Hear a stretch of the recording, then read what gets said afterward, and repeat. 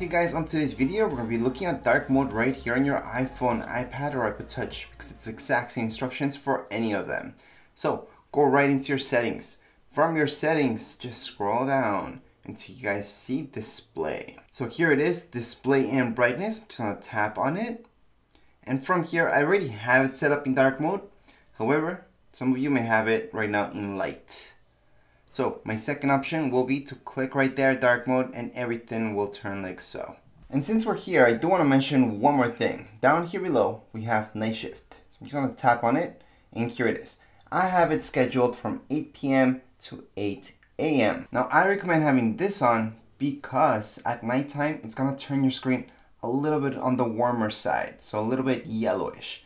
However, you won't see that right away. But it's actually something that's good for you if you're using your phone at nighttime, because that way, if you go right to sleep right after using your phone, it actually does help you. So overall, using this, you will get a better night's sleep.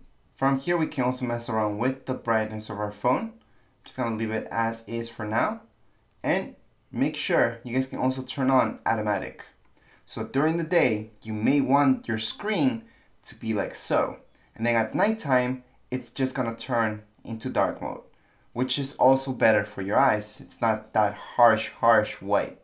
For me, I don't like automatic. I like it to be dark mode all the time. I think everything looks better, reads better, and displays better. And that's why all my menus are like so. Anyways, if you guys have any questions, comments, you guys can write down here in comments area. Don't forget to subscribe and rate. Thank you.